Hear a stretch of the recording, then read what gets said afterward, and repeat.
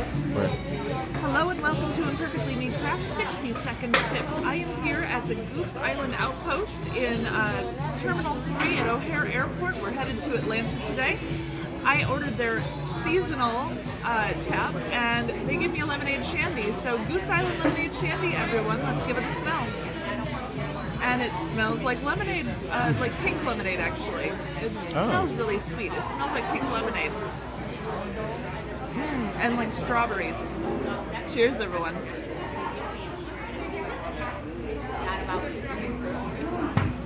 Ooh, it's a lot more bitter though. The scent is super sweet, like you're gonna get almost a soda, but you get a sharp bitterness to it. Not in a bad way. I'm still tasting lemon and lemonade, but it's more beer than lemon. Like as far as shandies go, it's a lot simpler. Cheers, everyone.